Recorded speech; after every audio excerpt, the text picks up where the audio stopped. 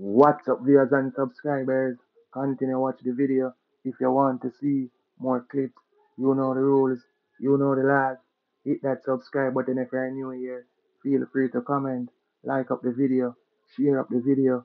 So viewer subscribers, Diddy's son, Christian Combs, has found himself on the wrong side of the law. Yeah people, he's been sued for sexually assaulting a female. Yeah, people, the female say Christian Combs assaulted her on a yacht party and she also have video recordings of Christian Combs forcing himself on her.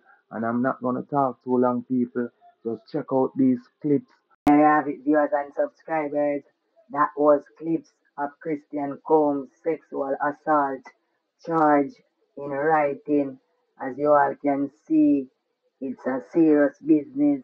I don't know, people, if the system target Diddy and his family or they are guilty of all these allegations. I don't know, but all I know that everything is going down. The whole Diddy fraternity is crashing.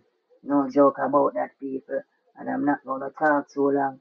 I want you now, my viewers and my subscribers, and all of the Diddy fans, them, spam up the comment section and let me know what you all think about this sexual assault charge and his son Christian Combs. You all feel like it is true, it is not true. The system is targeting Diddy and his family. Yeah, man.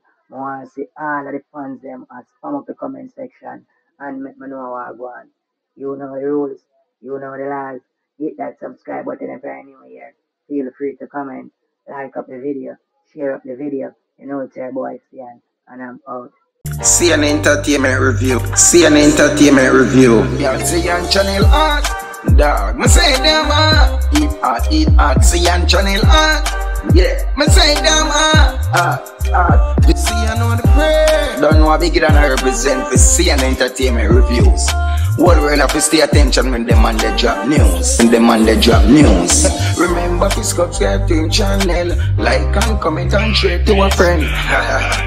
I be give you outside.